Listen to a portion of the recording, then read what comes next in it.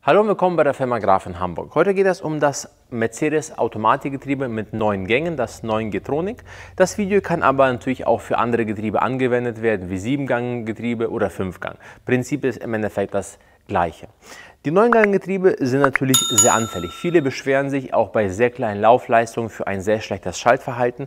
Ist auch natürlich logisch, weil dieses Neunganggetriebe benutzt das gleiche Gehäuse, was wir früher im Fünfganggetriebe hatten, auch das gleiche Gehäuse, was wir im Siebenganggetriebe hatten. Jetzt haben wir da neun Gänge. Plus wir haben permanent eine Start-Stopp-Funktion. Das ist natürlich für das Getriebe das Schlimmste, was man halt machen kann. Wenn man lange von dem Getriebe was haben möchte, muss man die richtigen Maßnahmen, die richtigen Wartungen treffen. Bei den älteren Getrieben war das halt so, wir hatten Adaptionswerte. Anhand der Werte konnte man, sich, äh, konnte man sehen, wie ist der Zustand des Getriebes. Man hatte Kupplungsführdrücke und Schnellführzeiten und man konnte sehen, wie viel mehr Druck muss ein Getriebe aufbauen, um den notwendigen Gang zu schalten. Bei diesem Getriebe hat Mercedes das so gemacht, dass man noch nicht mal Adaptionswerte sich sozusagen angucken kann. Warum auch? Wenn es kaputt geht, muss der Kunde das so oder so bezahlen. Ne? Und bis 100.000 hält das in jedem Fall und danach ist das eh wurscht. Damit ihr aber länger was von dem Getriebe haben möchtet oder nicht viel investieren müsst, gibt es verschiedene Wartungen, verschiedene Maßnahmen, die man treffen kann oder sollte. Wenn das Getriebe oder das Fahrzeug wenig Kilometer hat, 40, 30.000, dann sollte man einen Ölwechsel machen. Bei einem Ölwechsel muss man verstehen, man tauscht nicht das gesamte Öl, sondern man tauscht nur 30 Prozent des Gesamtöls. Das ist das, was in der Ölwanne sich befindet. Das war's. Ist auch an sich nicht schlimm, wenn man das relativ frühzeitig macht. Wenn ihr das Fahrzeug aber zum Beispiel viel Stadtverkehr fahrt oder eine starke Motorisierung habt, dann macht es Sinn, diese Ölwechselintervalle zu verkürzen. Oder ihr habt zum Beispiel eine Anhängkupplung. Wenn ihr eine Laufleistung habt zwischen 60.000 bis 80.000, macht eine Getriebespülung Sinn. Dann wird das gesamte Getriebe durchgespült, am besten mit sauberem Öl, ohne Chemie, mit originalem Mercedes-Öl und es wird inkl Ölwanne inklusive Filter ausgetauscht. Bei den Teilen sollte man darauf achten, dass man Originalteile verwendet.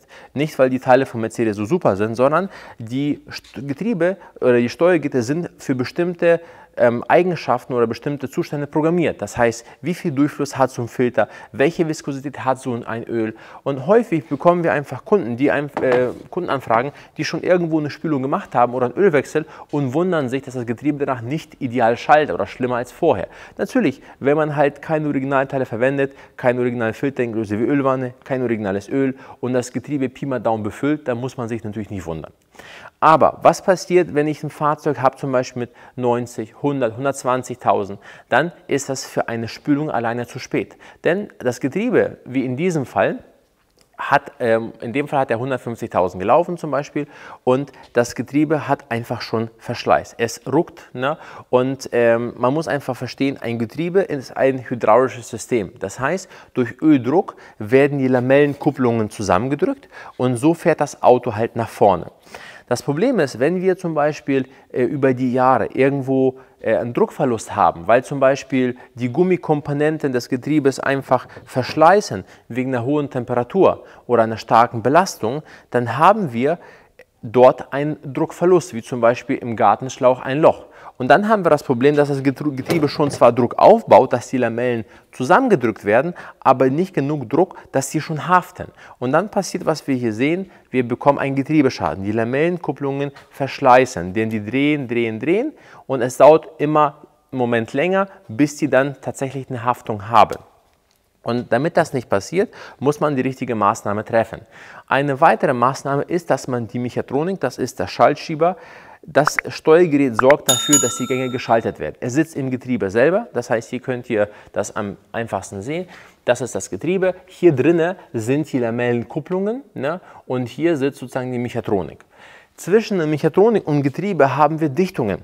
Die sind sehr wichtig. Das heißt, ihr müsst verstehen, die beiden Komponenten äh, beinhalten das Getriebe, das heißt die Mechatronik und das Getriebe selber inklusive Lamellen. Und diese ganzen Dichtungen, oder hier zum Beispiel, die haben eine Gummidichtung.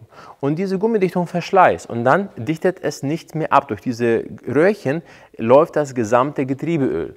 Und wenn das gesamte Getriebeöl sozusagen an den Dichtungen vorbeiläuft, dann haben wir hier ein Problem. Dann muss man zum Beispiel diese Mechatronik ausbauen und diese ganzen Dichtungen austauschen. Das macht man nicht bei 40.000, aber das macht man bei 100, 120.000, 150.000, je nachdem, was ihr für eine Motorisierung habt, wie das Getriebe fährt und wie jemand vorher gefahren ist. Weil es ist halt weggeschmissenes Geld, wenn ihr einfach Geld investiert für eine Spülung, auch wenn das mit Originalteilen gemacht wurde, aber ihr habt Probleme in den Dichtungen. Dann sollte man lieber diese Problematik hier lösen, weil man kann bei diesen Fahrzeugen halt die Adaptionswerte eh nicht auslesen und dann habt ihr im Endeffekt eine Katze im Sack. Dann lieber investiert man ein paar hundert Euro mehr und macht man das gleich mit und dann ist man auf der sicheren Seite.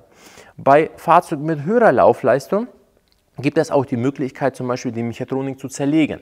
Denn die Mechatronik selber, wenn man die zerlegt, hat ein Gehäuse und hat solche Kolben. Diese Kolben, die werden durch die Ventile, die ich euch gleich zeige, bewegt. Die bewegen sich so. Und sozusagen, wenn hier zwischen dem Gehäuse und diesen äh, Kolben sich Dreck sammelt, dann kommt es zu Schallstößen. Dann fängt es an zu, sozusagen zu klemmen und zu rucken. Was für ein Dreck, fragt ihr euch? Das, dieser Lamellenabrieb, den ich euch hier gezeigt habe, der ist nicht magnetisch. Das heißt, er bleibt nicht an den Magneten hängen und er bleibt auch nicht komplett in den Filter hängen, sondern der schwimmt im Getriebe und hier kann man den zum Beispiel sehen. Ihr seht, das ist dieser Lamellenabrieb hier. Dieser ganze Dreck, was wir hier sehen zum Beispiel. Das ist wie so ein Staub. Und dieser Staub sorgt dafür, dass diese Kolben am Gehäuse klemmen und das Getriebe dann nicht richtig schaltet. Dann kann man zum Beispiel diese Mechatronik zerlegen und das hier per Hand reinigen. Das heißt, dass zwischen Kolben und Gehäuse kein Dreck mehr ist. Das ist zum Beispiel eine weitere Maßnahme, was man bei Fahrzeugen macht mit einer höheren Laufleistung. Ne? Deswegen muss man immer halt schauen, was ihr für eine Laufleistung habt, was ihr für einen Motor habt, weil ihr dürft nicht vergessen, zum Beispiel das Getriebe, was hier verbaut ist, ist das gleiche wie zum Beispiel bei MML was das Auto wiegt, deutlich mehr. Oder bei einer S-Klasse oder einer E-Klasse oder was weiß ich was. Oder bei einer anderen Motorisierung. Und dadurch hat man natürlich eine Belastung. Hat das Ding eine Anhängerkupplung, haben wir natürlich noch mehr Belastung. Deswegen muss man einfach schauen, dass man die richtige Maßnahme trifft.